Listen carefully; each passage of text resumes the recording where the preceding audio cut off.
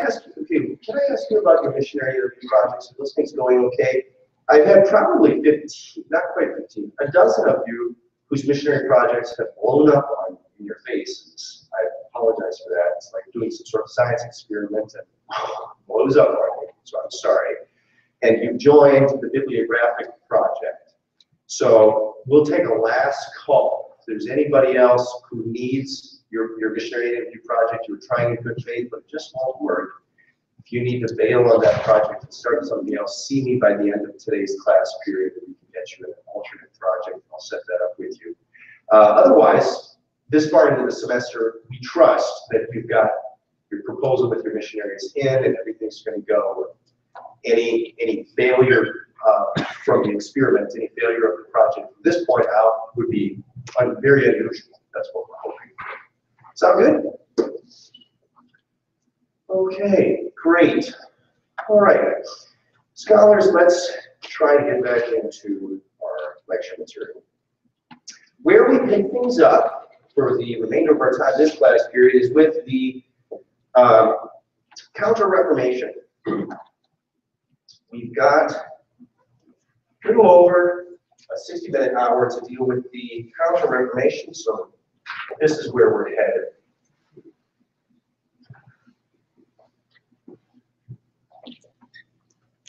At this point in the semester, we've discussed a whole bunch of reformations taking place in the 16th, 16th century. We spent a lot of time in the 16th century. We have one more class period that's dedicated to the 16th century. We've looked at the German Lutheran Reformation, with, of course, Luther, and done some really biographical work on him. We've done some work with John Calvin, also in the 16th century, looking at the French Reformation. French is, uh, we've just grazed at the, uh, we've just taken a very, very brief look at the Swiss Reformation. We really didn't do that justice, but we're speeding through the course. We took some time with the English Reformation, and I put a lot of you to sleep. Today, we're going to be dealing with the Roman Catholic Reformation, or the Counter-Reformation. Both terminologies, um, both terminologies work fine. Refers to the same movement. It used to be called the Counter-Reformation more prominently, and in the last, I don't know, 50 years or so, uh, Roman Catholic scholars have uh, rightfully uh, lobbied for a more positive title, where it's not just Counter-Reformation. It's not like everything that's happening in the Roman Catholic world in the 16th century is, is reactionary. Uh, but to look at this movement in the 16th century from the Roman Catholic perspective as also a time of growth and development, and, and to look and see what that looks like. So we will look at the Catholic Reformation or the Counter-Reformation. The term Counter-Reformation is only coined in the 19th century, and it's suitable enough as long as we understand that this was also a time of flourishing for the Roman Catholic world, and not all theological decisions are being, that are being made are being made in response to Lutheranism, although quite obviously uh, uh, a lot of the shaping of the Roman Catholic world is done now in dialogue with new Protestant. If we're looking for a figure who really sets things um, sets things in a clear trajectory, we can say that Pope Paul III is the, if you will, father of the Counter-Reformation. He dies in 1549. And it's under his leadership that we get sort of the theological agenda for this Catholic Reformation. So very significant things happen under the leadership of Paul III. We have, probably most uh, significantly, we have the founding of the Society of Jesus with the Jesuit order, which takes place in 1540. Okay. This is going to be, in my humble estimation, as one who is an alumnus of a Jesuit university, the single most important uh, step in, uh, in developing this Catholic Reformation. But there's going to be another, a number of other things that are enormously important. In 1542, we have the reestablishment of the Inquisition. That's not a very happy thing to talk about, but very significant for uh, this time period. That's in 1542.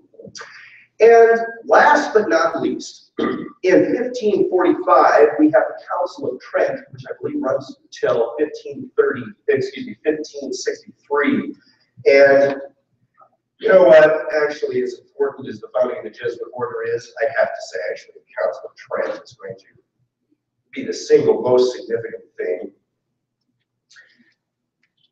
Nothing tops an ecumenical council, that's why they call them ecumenical councils. Yeah. And it's a long council, look at how many years that was. There's a lot of things that go into this, uh, this decision. If you're just looking to the Council of Trent, Counter-Reformation is going to be your best terminology for this movement, because the Council of Trent, if you look at the theological documents that are produced there, the decisions that are being processed, that really genuinely is a response to the to Lutheranism. Most of the theology developed and solidified in the Council of Trent is done with an eye towards these pesky Lutherans, and, and the Roman Catholics sort of choose all of the other options that their Lutheran counterparts don't. Um, but, but this is part of a broader movement, the Society of Jesus, the Inquisition. And you know what we can add to that too? It's not so much a, it's not an institution that carries with it um, continuing, continuing theological creativity, but it, it does, it's a marker nonetheless. It's, it's, a, it's a watershed moment.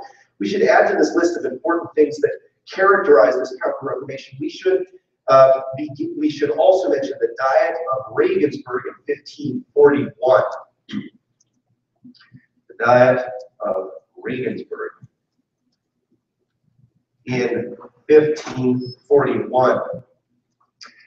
Hey, all of you juniors and uh, uh, sophomores who are looking for a study abroad opportunity, why don't you go study at Greg Quiggle's semester in Germany in the spring next year? Just an idea, to check it out. Which is in Regensburg. You can go look at these original buildings and get all the history from some folks there who are doing pretty well. Okay, so these are the events that come together in the middle of the 16th century that set a very clear theological agenda for the Roman Catholics. At, at the Council of Regensburg, let me see, do I have a slide of that? I'm afraid I don't. Okay, sorry. Um, you know, one of the other things that we should do in this class is figure out how it is that you, from the classroom, can take control of the screens above. Palmer, do we know how to do that yet? Could somebody submit on Skype an image that you could then load up top? Yeah. Let's try it. What if you find the building where the council of the Diet of Regensburg takes place? Could you do that? I didn't get a chance to actually put that slide together. If one of you put it up on Skype, it will magically appear on our overhead. That would be really nice. And uh, if it works well, we can keep doing that as long as you put up pictures that are uh, entirely to the point and, and educationally minded. We just do that as a habit. request that things should go up on top. All right, so what is this Diet of Regensburg? It's the, it's, um, it's the watershed moment where the Roman Catholics and the Lutherans realized that reunification is not going to be possible.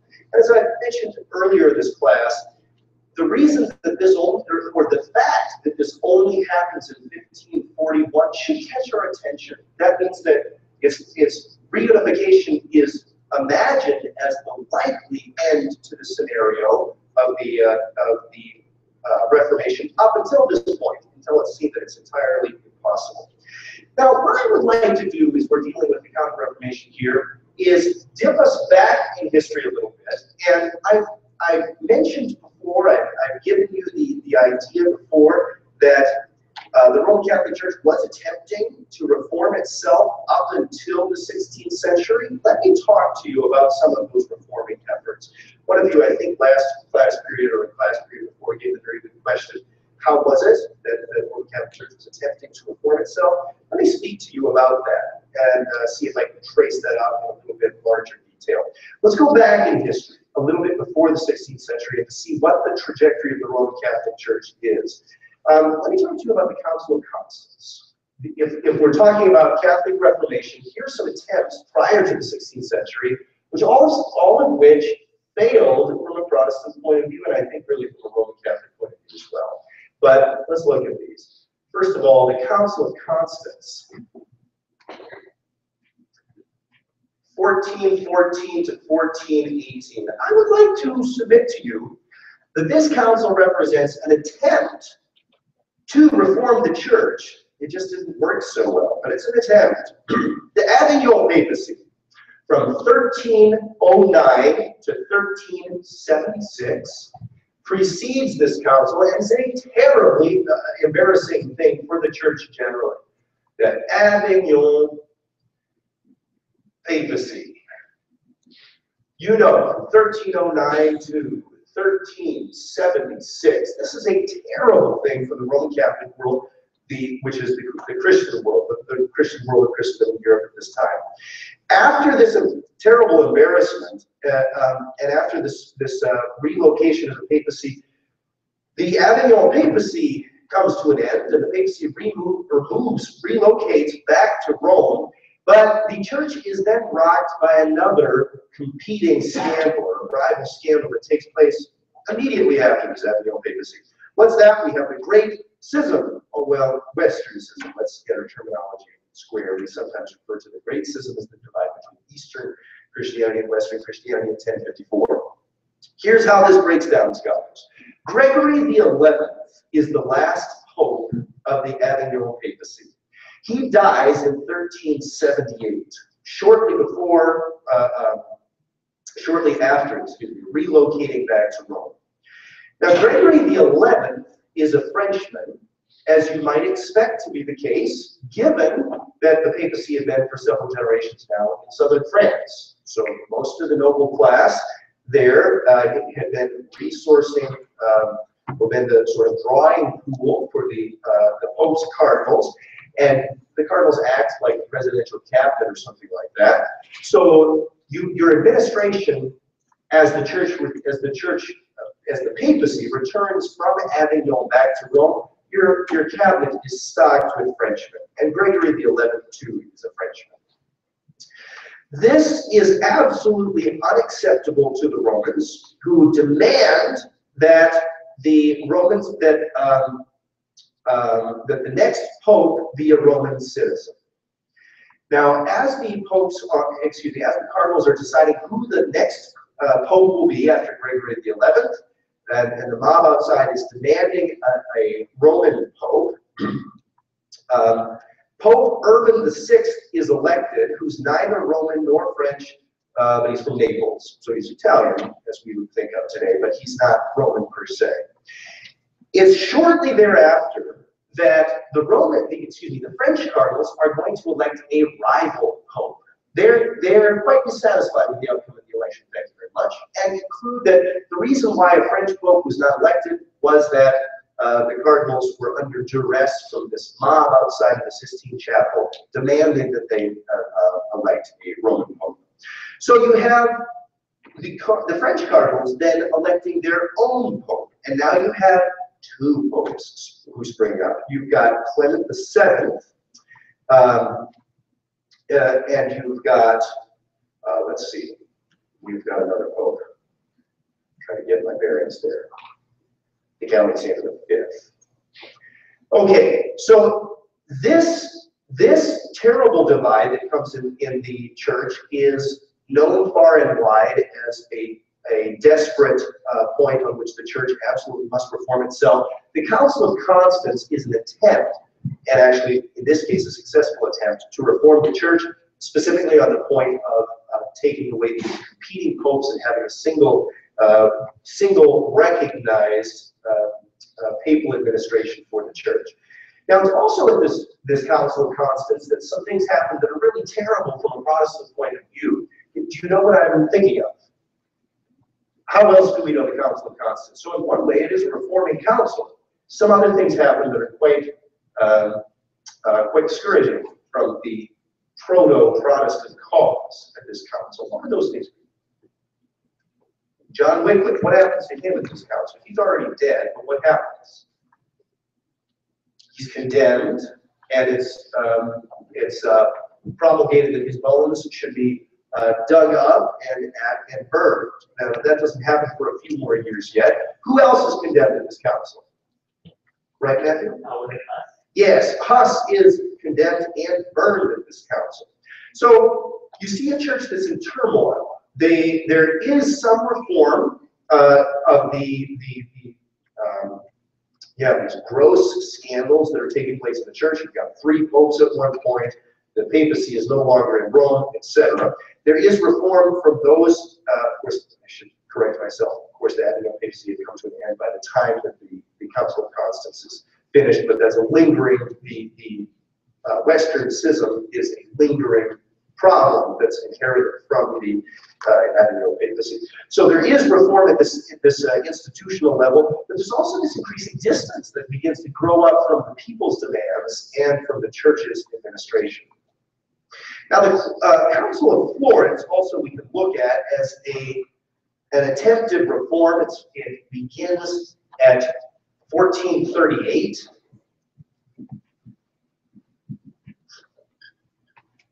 begins in 1438 and I think runs to 1445. This we can also see as a reforming council. The council is held in a number of different places. It's originally conducted in Basel, and then Ferrara, and then finally Florence, all in, in Italy. The council fails, but its attempt, what it is attempting to do is to reunify the, uh, the Eastern Orthodox Church and the Western uh, Roman Catholic Church the council ultimately uh, fails. Uh, during Luther's, Luther's day as well, we have the Fifth Lateran Council, which is also an attempted council. None of this works.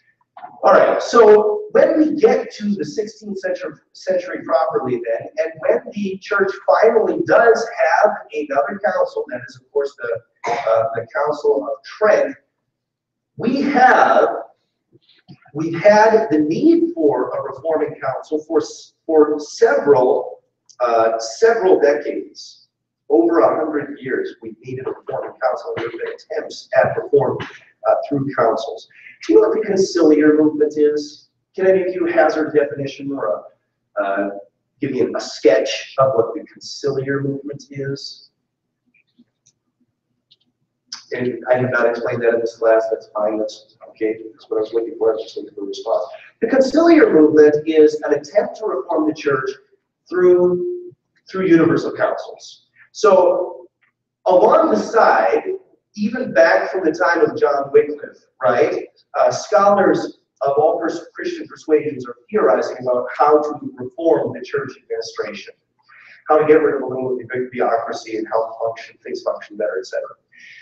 One of the prominent theories for how to do that is this idea of a conciliar movement, that uh, you could you could reform the church administration at the highest levels by bringing together a council uh, that would represent the entire body of Christ through all, all geographies, uh, and that could be the instrument to help set a new agenda that could get the church back in a position of, of real reform. The conciliar movement has its highest watershed moment, or its, its highest watermark moment, if you will, at the Council of Constance, when it effectively um, deposes. It's, it's on the, the authority of the conciliar movement that we do depose at that time two antipopes, and are left with the third real pope. That demonstrates the power of the conciliar movement. How could you get, if the, if the pope is otherwise the high Pope is the highest authority in, in the church, in the Christian communion, how is it that you can get uh, buying popes to step down from power? Well, through the influence of the ecumenical council. This is the, the high water of the conciliar movement. The, the, the theory continues that it's through councils that the church can find real reform, but there's less and less payoff, if you will, through these other councils that come down and we can draw up the uh, Council of Final, also from 1512 to 1517.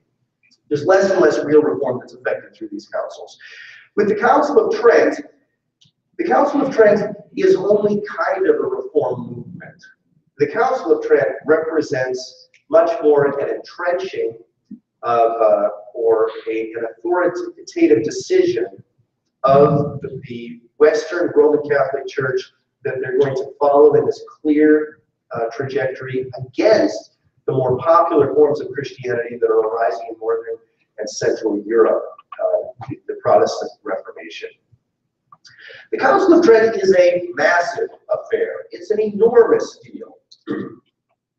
Um, at the second, and we're going to make one more historical reference back early to earlier to the 16th century. The second diet of Speyer in 1529, as well as at the diet of Augsburg in 1530, there was some talk of the need for a reforming council. There was talk of the need for a council that might bring together Lutheranism and Catholicism. Uh, there is a council finally, but it's not going to bring uh, Lutheranism and Roman Catholic, uh, uh, the Roman Catholic Church together.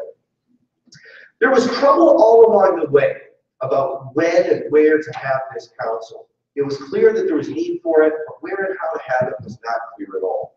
Pope Clement VII, who dies in 1534, same year that the English Church takes on its, um, its beginning form with the first act of supremacy from King Henry VIII. Pope Clement VII dies in 1534, and Pope Paul III uh, takes over in the same year in 1534 and will die later uh, in 1549. Under Pope Paul III, we finally get the beginning of this uh, ecumenical council, the Council of Trent. Pope Paul III is determined from the beginning of his papacy to convene a general council.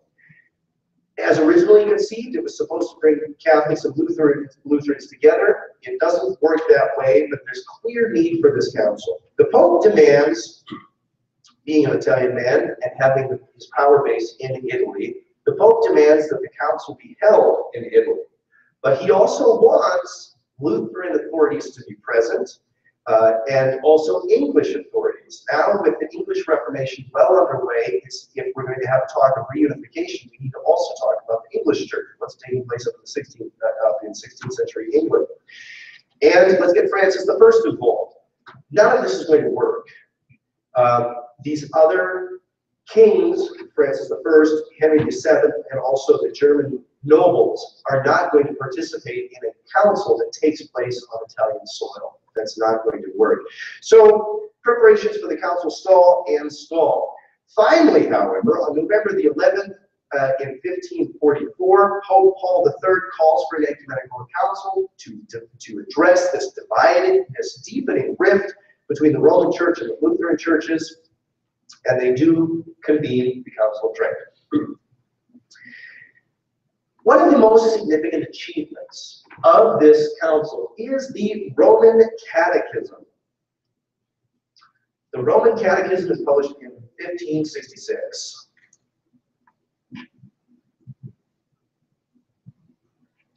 Fifteen sixty-six, and this is uh, the Catechism of the Roman Catholic Church that comes out of the Council of Trent. Do you know when the last time was the uh, the Roman Catholic Church has had a catechism published? Anyone want to hazard a guess? Shoot. What was last, what is the most recent form of catechism that the Roman Catholic Church has? You got it, Ben? Was it in the 1960s? Can you believe it? It was 1992. Look at this. So, if you're trying to figure out what the Roman Catholic Church believes, the two most recent catechisms are 1992 and 1566. Wow. So I'll just throw this out as a, as a personal testimony. If you're wondering uh, what Roman Catholics believe and uh, you want to cut through all of the stereotypes that we might have about each other, and you want to actually know what the church believes, uh, you can look it up now in a cheap, accessible volume that's available, no doubt, at a Christian bookstore near you. Uh, and, and it's kind of remarkable, actually, that you were born probably only a year or two after um, the, the, this volume, which was published, updating the Roman Catholic Church. Now, what's extraordinary, the, Roman Catholic uh, uh, Catechism.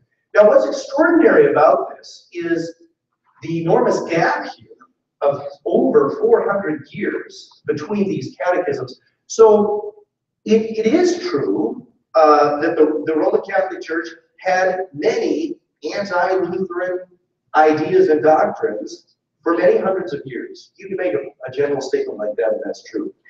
Um, but don't trust the stereotypes or or the uh, um, the popular opinion to figure out what the real differences are between Protestants and Catholics today.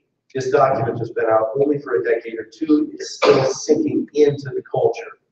uh, two decades out, many people still don't know that the Roman Catholics' uh, views have changed since since the uh, Council of uh, Trent. Well, I'm speaking as a Protestant when I say the Roman Catholic Church's views have changed. That's that's a Protestant's opinion. All right, uh, let me read just a little snippet of what this Roman Catechism is about. I'm, I'm accessing an article here from the 1913 Catholic Encyclopedia, and it, this is what we read in that, that text about this catechism. We read the catechism differs from other summaries of Christian doctrine for the instruction of the people in two points. So here are the two uh, defining features of this Tridentine catechism. One, it is primarily intended for priests having care of souls. And two, it enjoys an authority uh, by no other catechism. That's, of course, uh, speaking, that, that the author of that article is speaking in a pre-1992 context. The need of a popular authoritative manual arose from a lack of systematic knowledge among pre-Reformation clergy and uh, concomitant neglect of religious instruction among the faithful. The council fathers that gather in Trent in the middle of the 16th century conclude that the reason why this Reformation is going, why the Protestants have broken away from the Roman Catholic Church, or however you want to view that, is because of the terrible neglect and ignorance among the priests of the 16th century. The Council Fathers conclude that if we had a better educated clergy, none of this would have been necessary. So the catechism, the Roman catechism, is devised as a system, sort of a curriculum, to teach uh, uh, Roman Catholic priests so that they can teach the people, so that there can be uh, greater unity in the church in the 16th century. Now it's very interesting too that that agenda, that agenda of bringing education to the common people would largely be the mission of the Society of Jesus. The Society of Jesus, founded in 1540, some have described as stormtroopers of the Counter-Reformation. They were bringing this Counter-Reformation theological agenda out to, to the whole world, as, as broad as they could possibly bring it. Um, it's a new monastic order that's founded in the 16th century. I'll talk to you in just a moment about the founding of this order.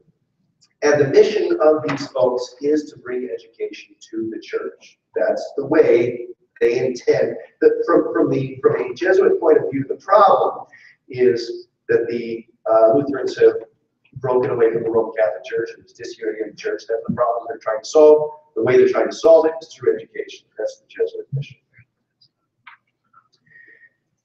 The Council of Trent affirms a lot of things that we still might think of as traditionally Catholic. The Council of Trent affirms the doctrine of baptismal regeneration. The Council sets down curses that uh, uh, should one not accept these doctrinal, doctrinal definitions. And this is the onset of the confessional age. So Trent is irreconcilably different from the Lutherans and the uh, Calvinists. There won't be serious talk again of reconciliation for several hundred years, and the confessional age that, that arises allows Lutheranism and Calvinism, and other Reformed expressions of Christianity, and Roman Catholicism to become completely entrenched uh, against one another. There are, uh, uh, what takes place next is there's a, this continuing fragmentation of the Reformed forms of Christianity, uh, but I, I, don't want to be overly negative about that. One of the really amazingly positive things that takes place uh, from this fragmentation of Reformed Christianity is you get an enormous mission movement that's going to follow. Remember when we, we had uh, Dr. Manetsch with us just a couple weeks ago, and we asked him about uh, the missionary enterprise of Calvin and his company of pastors. And, and Manetsch gave us an excellent answer for that, and that is that Calvin and his contemporaries were not really mission-minded in the way that we conceive of missions today. None of the reformers were. That's something that's going to grow up after the Reformation. In many ways, it's going to be a uh, the upswing of the Reformation.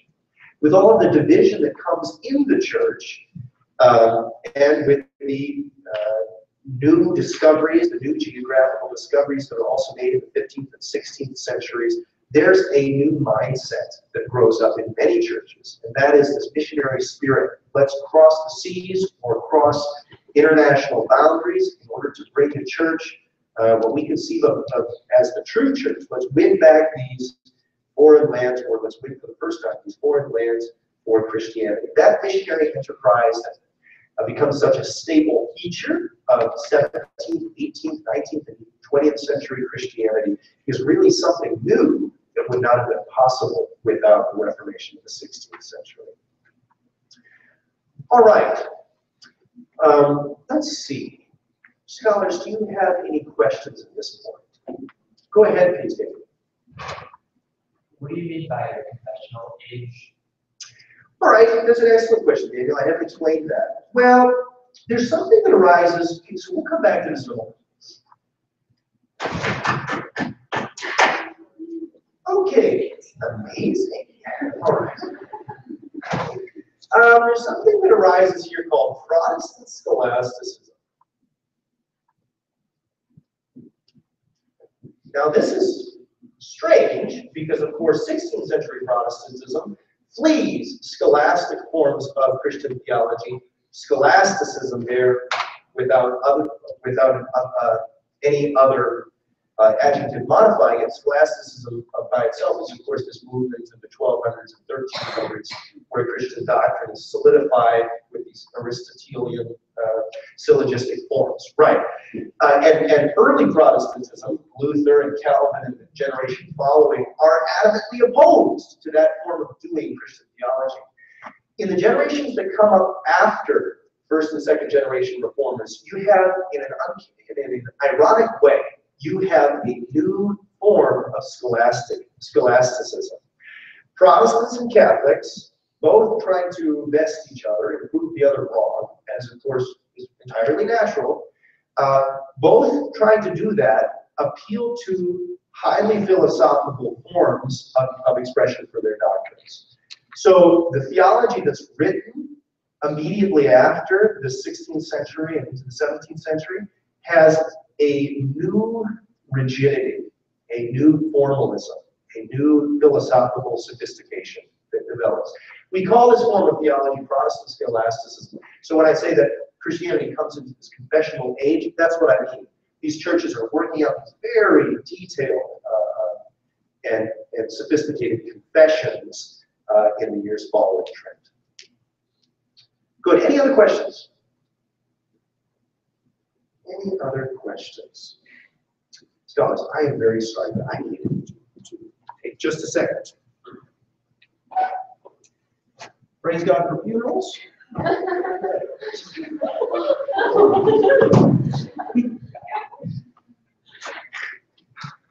so good to be with you. Let's talk about the, uh. Let's talk about the founding of the Jesuits. Let's talk, uh, now the founder of the Jesuits, I'm going to give you a little biography here, is Ignatius of Loyola. He will have his order founded in 1540, but that's not where it begins. It begins, it's a very, it's a very personal story, really. Ignatius of Loyola, let me give you his name.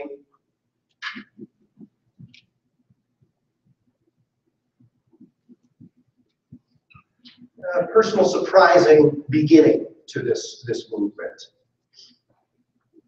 And when we, we, for the next several weeks, we'll be increasingly talk about, talking about missionary activity as we leave 16th century uh, Christianity and move into what follows is, is now missions is going to be a staple part of this class.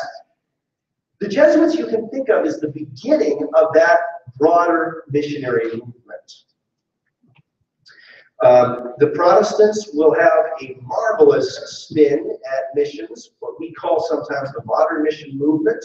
That's going to take place beginning usually after William Carey's uh, the founding of the Baptist Missionary Society in 1792, and then there's going to be a flurry of new mission organizations founded after the 1792 date. But the Jesuits were at this for a very long time. They, uh, they were doing this about 200 years before William Carey was born. Um, and, and here, when we go to this extremely early period of, of mission movement in the modern period, you can see exactly how missions is really founded through, uh, or developed through these Reformation themes, trying to bring back uh, uh, Christian unity to the church. The Jesuits were granted official status as a Roman Catholic order in 1540, and their numbers exploded. It was an explosively successful movement. By the time that Ignatius Loyola died in 1556, there are 1,000 Jesuits in this order.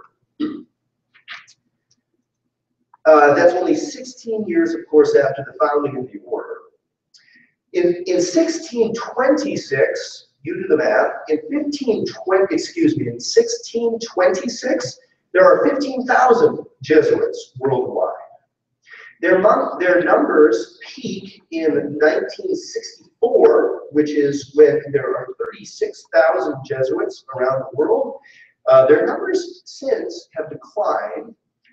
In, let me just uh, see if your historical consciousness is up and functioning today. What's taking place in 1964? I mentioned that this is the peak, the, the high watermark for, for Jesuit numbers worldwide. And after that, until the modern period, there's, there's decline. What's taking place in the world in 1964? Cold War. Yes, incidentally, good. Daniel, what else is going on? Especially in, in Roman Catholic circles, perhaps. Good, got it, Brady? Was there not another council? There is. It's called what, folks? Vatican Council II, right? Takes place 1962 to 1965. That council uh, did some marvelous things for uh, inter-Christian uh, dialogue and inter-Christian um, discussions. Did some really bad things for the Jesuit order. The Jesuit numbers have not recovered after that. After Vatican II, incidentally, there's a huge decline in numbers of what Roman Catholics call vocations. So you have many fewer priests signing up to be priests, many fewer nuns signing up to be nuns. And why? Well, because if the Roman Catholic Church is when you start talking to these other Protestant bodies, I'm not sure that I actually want to be a nun anymore.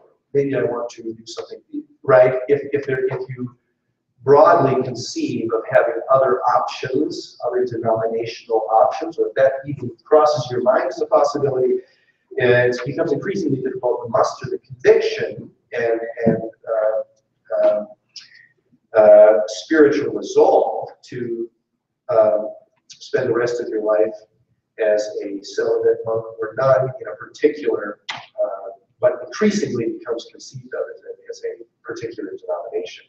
So uh, today, I haven't checked recently, but in, in the early 2000s, there were about 19,000 Jesuits worldwide. Uh, but that's almost a 50% decrease from their high water rate in 1964. Some of you may be aware that in recent years, um, there's been what's what some have been talking about as a uh, crisis of vocations. That the, the number of people signing up to become Roman Catholic priests are so few that the structures won't actually maintain themselves. We won't actually be able to take care of all the churches that we have. We won't be able to celebrate Mass in all of the churches that we even have with the number of um, uh, young people signing up to be Roman Catholic priests. This is not the voice of God speaking to you. I'm not telling you to sign up, but uh, many have noted that there's there's this crisis of vocations taking place. And this is a, this is also where the story expands on the places that have been very successful, um, where Roman Catholicism worldwide has really flourished. And on the European continent, we have Poland, it's a very strong Roman Catholic country. Lots and lots of the priests today are coming from Poland because that's one of the, places where Roman Catholicism is, continues to flourish, or from what some call the Southern Cone, right, from South America. Roman Catholicism is doing great in in uh, um, in South America, and many priests worldwide are being uh, ordained there and then uh, serving as priests elsewhere around the world. But let's get back to the beginning of this story of the Jesuits. Let's go back to the beginning. And by the way, wave your Argentinian football flag. Uh, the Pope, Francis I, is not only the first non-European Pope, or I think over 800 years, I think that's the number that people giving, uh, but also the first Jesuit Pope. Amazing. Okay. What did the Jesuits do? They built schools. In 1626, so I'm giving you the fast facts, and then we'll get back to Loyola's story. But uh, in 1626, the Jesuit order could boast around 400 colleges. And by 1749, The Jesuits had about 800 colleges and seminaries worldwide. And we have a number of them here in the States, uh, whole universities in our standards. Uh, Gonzaga University is a Jesuit university. We've got Boston College, Georgetown University, Seattle University, and so on. Um, and there's a whole bunch of secondary schools in the United States and worldwide as well. Now, the Jesuits deeply impact the way theology is done in both Roman Catholic circles and in Protestant circles in the years that follow the Reformation. You heard the, the, uh, the adjective, it's actually a pejorative adjective, so don't use it too much, but have you heard of the adjective Jesuitical? Possibly. Check it out on Google, and then why don't you throw up an image to Homer we can put it up on the board perhaps. Jesuitical. Well, it means exacting, logically exacting, or um, uh, philosophically technical, or perhaps overly technical. Uh, it's a pejorative term, so it means over the top, over the top in, in careful logic chopping, syllogistic argumentation. It's polemical, and one is always trying to like fencing that. You're always trying to best the other uh, and cut the other person down with your brilliant use of logic. Well, that is the way that Roman Catholics, uh, uh, following the Jesuits, develop their theology. It becomes much more formalized and philosophical. And the Protestants answer in kind and, and develop theological systems that become every bit as Jesuitical as the Jesuits themselves can muster. So there's an enormous impact in, in Christian theology across the board that this movement develops. I think we could say that overall, in the whole history of the church, the Benedictines have probably had a larger imprint on Christianity. After all, they had a thousand year head start on these folks. So as far as monasticism and the broader history of monasticism is concerned, I think the Benedictines still hold the record for probably being the most influential form of that monasticism. But uh, given its relatively short lifespan of only 500 years, the Jesuits have done pretty well themselves. Who is this guy? Ignatius of Loyola. Um, hey, there's a lovely statue of Ignatius of Loyola on Fordham University's campus. It was put up over the year that I was there, so I think about 2005 and 2006. It was given to the university. Can you just find that for us, Palmer, and put that on the screen? That'd be lovely. Hey, actually, from this, uh, well, I'll talk to you about it as soon as I see the image. Ignatius is born in either 1491 or 1495 to this powerful noble family in Spain. And Ignatius is born in this, in this world that's experiencing change every bit as rapidly and dramatically as our world today is. We think that change is new.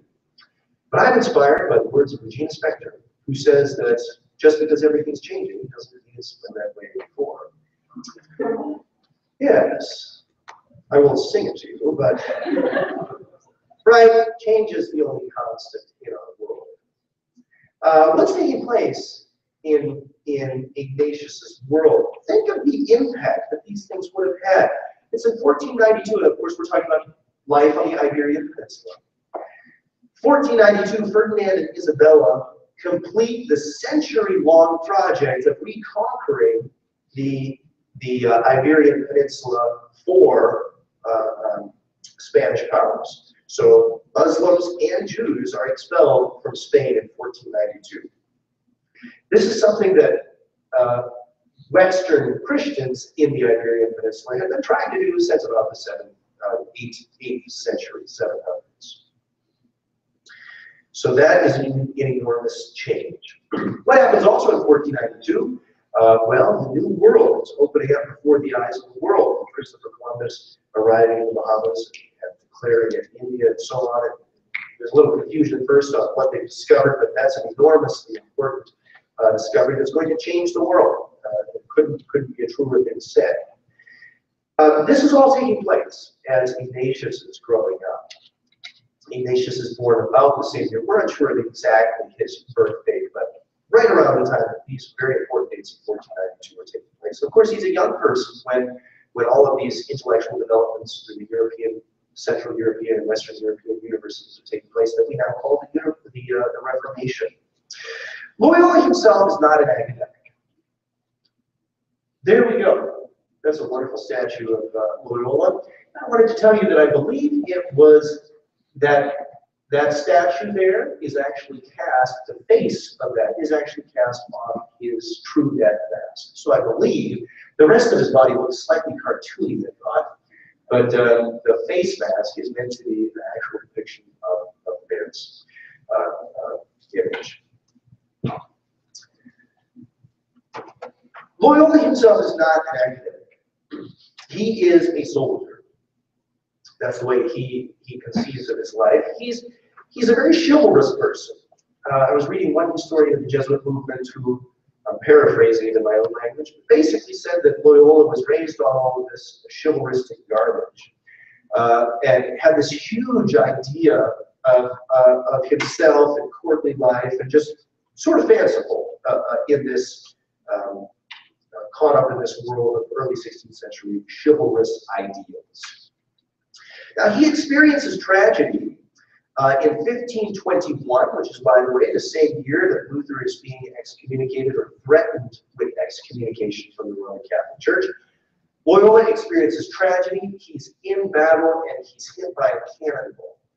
His brother is, excuse me, his uh, leg is smashed. A cannonball rocks through his leg and smashes it. And he's he's a person at this point in, his time who thinks quite a big quite a lot about his own physicality. He's very concerned that this, uh, he doesn't know what's going to happen to his own concept of self-identity if he's not a uh, robust, healthy young person. And he, he's losing this physical capacity to be a soldier. He probably to walk with a limp for the rest of his life. He comes into a, a time of total crisis and doesn't know who he is. One of the details there that we'll cite too is that uh, I think it's shortly after the battle, his leg has set wrongly and so he has a friend re-break his leg, I'm sorry, re-break his leg and set it correctly so that at least he'll walk with a, the slightest limp possible. It would have been a terribly painful thing to do. And, uh, and this is the kind of person he is. He's a person who understands pain and battle and uh, really prizes his own physicality. He wants to keep his full uh, physical function. Nonetheless, he's going to walk with a limp the rest of his life and can't serve actively as a soldier after this.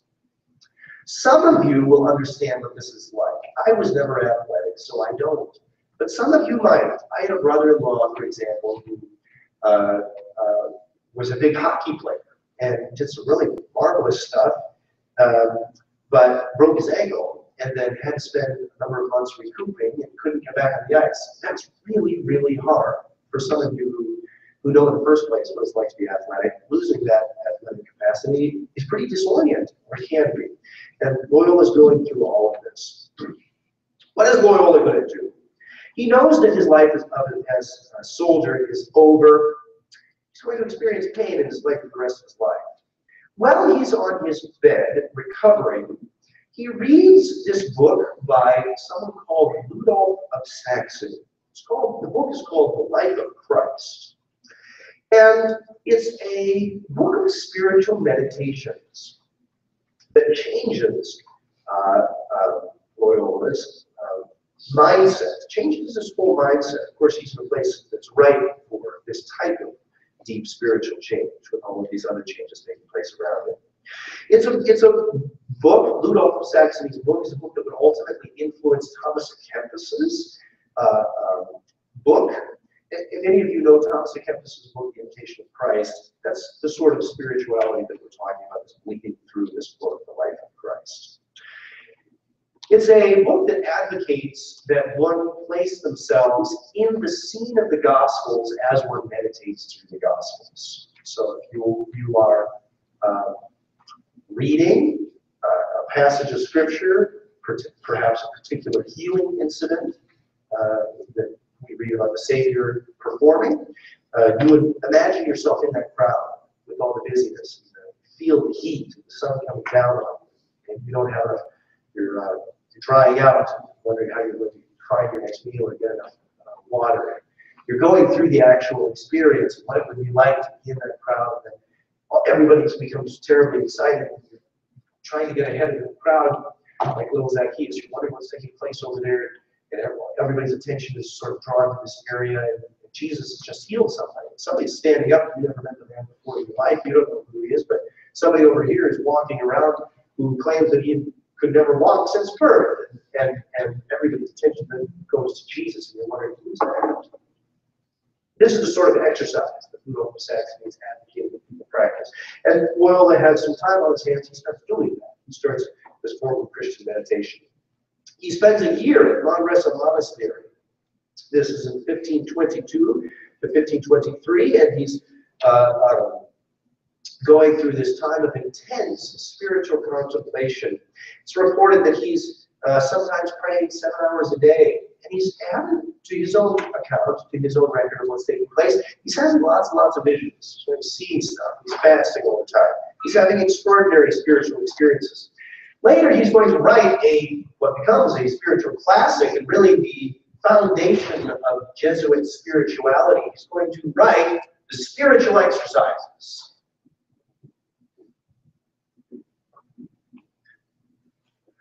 Which some have described as a cookbook in its writing style. It's really formulaic. Now remember that Loyola was not a literary man. So we shouldn't expect that this is going to be, uh, I don't know, something with the flourish of uh, uh, writings or something like this. No, it's a very simply written book, very straightforward, and very systematic, very programmatic. It's a book, ultimately it's going to come out, the final edition this is going to come out as a manual for spiritual retreat. Uh, how is it that you can know the will of God? Well, here's Loyola's answer to that. If you want to know the will of God, take four weeks of your life, meditate through these exercises, and you will know what God's call in your life is. Sounds pretty fascinating. It's also what continues to be used as the foundation for Jesuit spirituality today. If you are signing up to become a Jesuit, they'll put you through one of these retreats, and you will know the will of God, which invariably actually is to join the Jesuit order. Surprising how it works. But this is this is nonetheless a, uh, a spiritual world class. In the first week, what's the retreatant to do during these four weeks of meditation and contemplation? Well, in the first week, the retreatant is going to become aware of, of his own sinfulness. How are you going to know what God is calling you to unless you have a clear concept of your own sinfulness, right? Actually, it's kind of how the gospel works, folks, even in our lives today, too. Um, um, unless we are clearly aware of what God is trying to change in us, there's not going to be much spiritual energy to do anything. You, uh, other, if there's if there's not a direction of any sort, it's not motion or change in your life, then you're kind of in the spiritual doldrums. There's not much wind blowing in your sails. And Loyola understands this. So first, get a grip on your own your own uh, sinfulness. What is it? Where it is that you that you uh, need change? How is it that God is trying to change you? During the second week, one focuses in on the life and ministry of Christ. What is it that Christ actually did? What was his person like? On, on the third week, you meditate on the crucifixion of Christ as it were, experience this, this crucifixion scene. And lastly, you meditate on the resurrection of Christ. Had the privilege recently of talking to one of the faculty members at Gonzaga University, who also happens to be a huge fan of virtual reality. And uh, he's a uh, senior faculty member there. He's been reflecting on the use of technology in theological education for a long time. He was telling me about these cool ideas he had for uh, uh, like online rituals, the performance of online rituals. It was pretty interesting, something that I had basically never thought about before. But um, yeah, it'll be interesting to see how they're practicing this retreat uh, years down the road with virtual reality. Actually, folks, I don't think it's going to change their spirituality. I doubt it. It's a form of meditation. Spiritual exercises outlines four weeks of spiritual meditation. Now I'm going to pull something up for you here. Uh, well, actually, I'll pull that for you. Uh, let me continue to give the man's life stories. Okay, so he does recoup. He does heal enough to uh, uh to leave his hospice. He uh, leaves Manresa Monastery. He's only there for a year. He goes and studies. He studies. He's a, he can't be a soldier anymore, he decides to become a student. He heads out to the University of Paris, and I've already told you that it's at the Collège Montaigu, where John Calvin and Knox, and also Loyola studied for a period of time. So he heads there. Now, when when um, uh, Loyola goes to the University of Paris, he's probably not the most promising student. Um, he is um, he, he's not invested himself in academic work previously, so he's um, he doesn't have a lot of accolades or background in academic work. Uh, he hasn't taken writing class. He doesn't know how to write an academic paper equivalent to the university system today, so he's learning everything from scratch. Uh, he's um, 37 years old, so and he's also has this military career behind him that, that Loyola is not proud of. It didn't work out the way that he wanted it. Um, so he's perhaps not the person whom everybody immediately recognizes as the rising star of the university. But guess what? This man planted more universities than anybody else put together. Uh, he's going to become one of the most brilliant advocates for Christian theology and world mission the world has ever seen. At those statues of guy. Okay, at the University of Paris. Now, this is the most, this is the, the, the, the earliest beginning form of the, the Jesuit order. It's a bunch of friends at the University of Paris.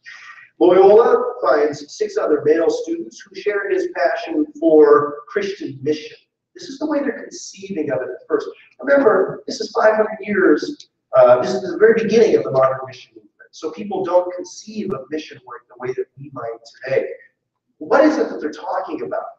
Well, they're talking about all of this new territory that's opening up, all these places that need the church, and Xavier is conceiving broadly of could there be a military-like order that would take the church to places where civilization hasn't yet started. That's that's the idea that's sort of uh, being grown at this university with these other friends. Now, Loyola has a lot of hard work ahead of him to actually, first of all, get these other six male uh, uh, friends of his to, to see his vision. So this doesn't happen immediately. Uh, one of his earliest followers is Francis Xavier. Those of you who know the name Francis Xavier, probably the most famous Roman Catholic missionary ever. Um, I think he's going to have some 700,000 baptisms that he will be meant to perform during his life, many of them in the Far East, which is totally off the radar of Europeans at this point. So uh, they're going to do some pretty extraordinary things. But Francis Xavier also is not the most promising missionary. If Loyola is not the most uh, easily anticipated um, academic, Xavier is not the most obvious candidate for missionary service either. He is a, uh, I, let's see, what is the word? He's a, he's a party animal, something like that. You pick the appropriate term of your dis, uh, dialect that's going to work for this. But he's, he's somebody who's uh, not taking his studies at all seriously. He's from a, a wealthy family background and he's sort of uh, surfing on mom and dad's credit card and um, and having a whole lot of fun and buying a lot of people drinks. But he's not doing much in the way of study. Now, wouldn't you know it? By some sort of act of providence, he's roommates with Ignatius of Loyola. Imagine how these folks get along.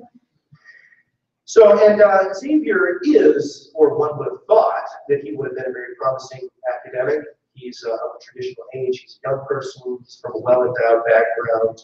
He's a very charismatic type. Everybody likes him. He's always the center of attention. Everybody's looking at his shoes when he comes in the room. All right, this is this is Xavier, but he's he has this sort of frivolous lifestyle that drives uh, that drives Loyola uh, bananas. Finally, and Loyola is preaching, as it were, to Xavier over the, the months of their time living together. Loyola is trying to get Xavier to a point of care in his Christian piety, to uh, sobriety in all ways of living. Finally, Loyola breaks through to Xavier when Xavier runs out of money. He gets himself in an embarrassing situation and has to appeal to Loyola for a bailout loan, which Loyola very generously does comply with, but also has a few moral restrictions that he's anticipating that Xavier will follow through on. And guess what? This is the beginning of what is truly a famous relationship. The order can, does not formally form until fifteen forty, you can see that, up find that up on the board again. But this group comes together in fifteen thirty-four. So there's this incubation period of about six years here, fifteen thirty-four, when these six, seven friends actually, get together, some of whom uh, are tremendously famous individuals I've already mentioned. There are a few others who are- aren't quite as well renowned. Uh, but these are all friends from the University of Paris who come together. And at this point in 1534, they all take vows, although not under an official structure, but they all take vows together uh, in this mutual pact and decide to commit their lives to what we would call today world mission. Now, they eventually appeal to Pope Paul III, who surprisingly enough gives them official standing uh, as an order of the monastic order of the Roman Catholic Church, and they become extremely successful. But it's not, again, it's a very unusual uh, beginning point. This is, we we just have so many uh, surprises at the beginning this form here. Good. And what happens? Well, originally, so when these seven friends present themselves to uh, Pope Paul III, their first plans go to go off to the Middle East. Their plan is to head off back to the Levant. They're going to go to these period of these places where cru- crusading activity had taken place, and they're going to try to win back um, uh, modern day Israel and Syria and so on for, for the church. That's their original plan. That doesn't work. They never launch out on that plan. What they do instead is head off to India and the Far East. We have Francis Xavier. So Loyola sort of becomes the office controller, as it were, or becomes some sort of administrator for this burgeoning young movement, and doesn't actually travel much, despite despite his former life as, a- as an officer and one who seemingly would have really enjoyed that. That's not what he does. He stays back at, at the office and sort of helps everybody find their way around, uh, and, and becomes headquarters, as it were. Xavier is the first person they dispatch. He has a remarkable mission in India, Indonesia, Japan, and he hoped to arrive in China. He never does, but his hope is to get to China. I, I mentioned he's often known as the most famous Roman Catholic missionary, period. Uh, and it's claimed that he made some 700,000 conversions during his uh, lifetime. So this is pretty remarkable, in given that he's working in places where his language would not have been understood. He must have been working through translators. As a European, he would have been totally fish out of water in what we call Far Eastern cultures.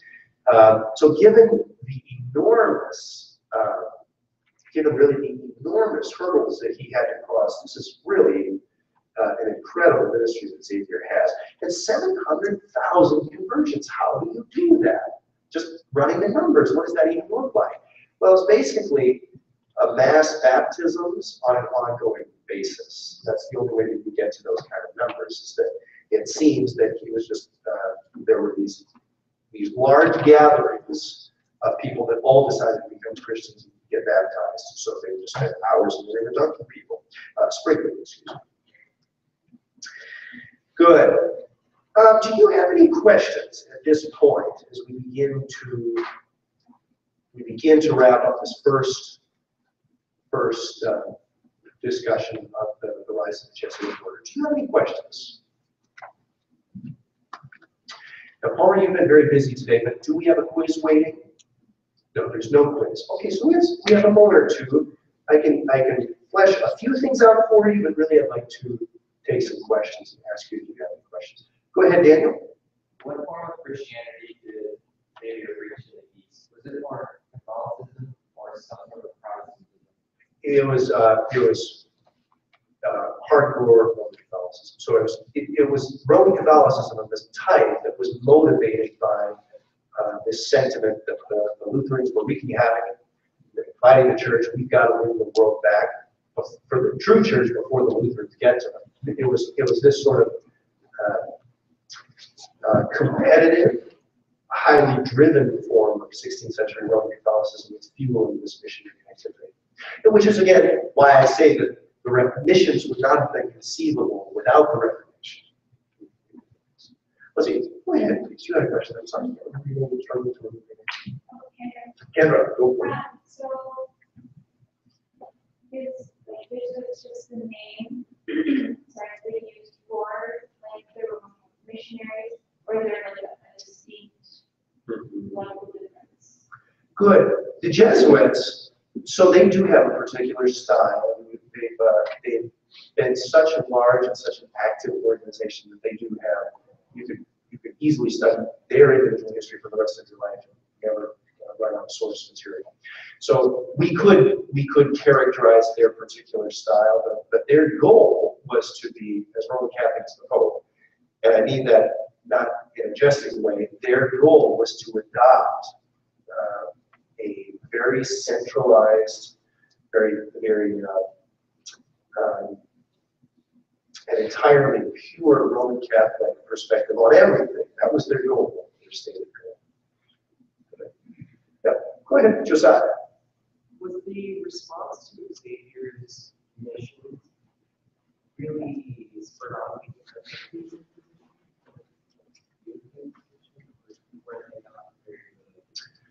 Good, good, Josiah. As far as I know, Xavier's mission and the remainder of 16th century mission work with the Jesuits, if I can speak broadly, I don't think there was much relation to the Inquisition at all.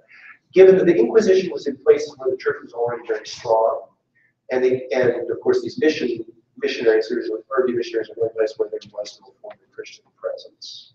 Good, good, Josiah. Ed?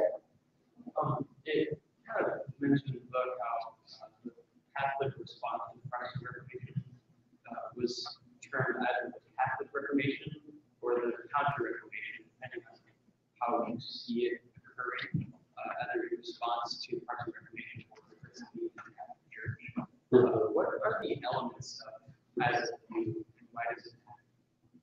Well, it's a historiographical debate. So you're right, that at the end of the day, does it matter what historiographical time we apply to this period?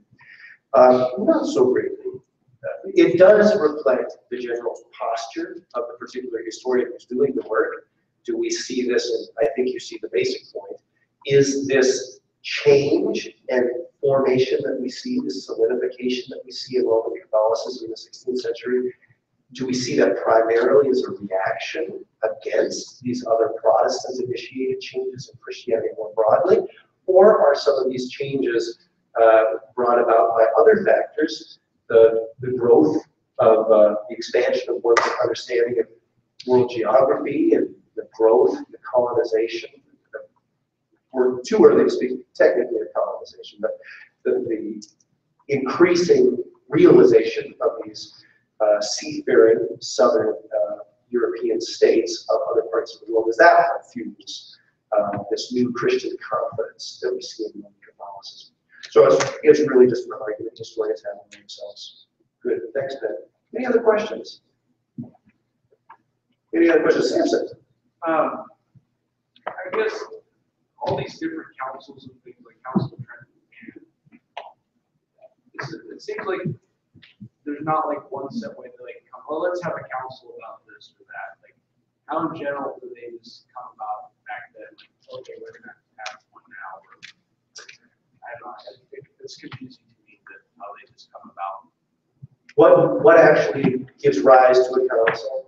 Yeah, Well, in all cases, you need the Pope who stands behind it, or you need, you need in antiquities patriarchs to stand behind it. So you need, to speak more generally, you need your top clergymen to all agree that a council is necessary. And then usually beyond that, as we continue to speak broadly, beyond that, you needed uh, politically favorable circumstances that allow that to take place. In the case of the Council of Trent, we needed enough cooperation between England and Italy and France and Germany, what we call those countries, that, that some sort of meaningful council could take place. Good. Any other questions, scholars? Any other questions? Oh, Carolyn, please. With all these councils, back in the day, there was all- all very pragmatic, but today, we have much more like relative, like, um, worldview. So would the idea of bringing more unity between like Catholics and Lutheran and Methodists, would that be a more of a possibility? Or are we just so different now, everything's evolved differently, that it's not even an idea? So that's a very good question. You know, could a new council be possible? Is that what I hear you asking, Carol? Right, there, there's nothing, there's nothing clear that's in motion. There's no obvious way, uh, some of us are watching, so like storm watchers, you know, some of us are watching to see if something like that could take place, myself included. There's no obvious way that something like that's going to happen immediately. There are tiny little seismic rumbles, if you want to speak in those terms. Uh, the Eastern Orthodox Communion is getting together for, they're getting their patriarchs together and having a council. I think this June, there's been some talk about whether it's actually happening, we think it actually will happen. Uh, and that will be unique internally to these different bodies of Christianity, you need enough coherence that they can all get around a single table.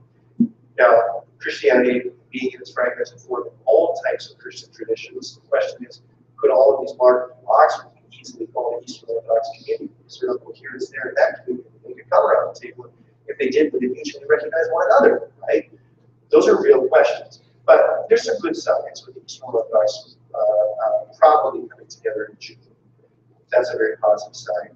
Uh, there's no, the, the, uh, the dialogues that have sprung up between Western forms of Christianity, Roman Catholics, and Protestants, Evangelicals, Lutherans, Methodists, whatever, those are mostly the course. And I think many people feel that the formal type of relationships that can be established between those, those types of uh, uh, meetings have, have mostly run the course. So I think people are genuinely looking for a new form of, of uh, interaction dialogue. What would that be?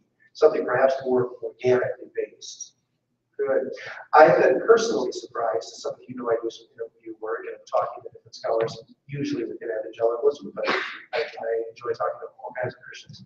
Um, and as I've been asking them about questions of the unity of the church, I've been surprised how much openness I've found. Um, still, the mechanism for how Christian unity would come together or how council could be formed isn't clear. So I think I see a lot of goodwill. I don't see a clear mechanism us together. Good. Great. Scholars, thanks so much for your engagement today. Next week is spring break, so enjoy your spring breaks. Be safe. We'll look forward to seeing you in two weeks.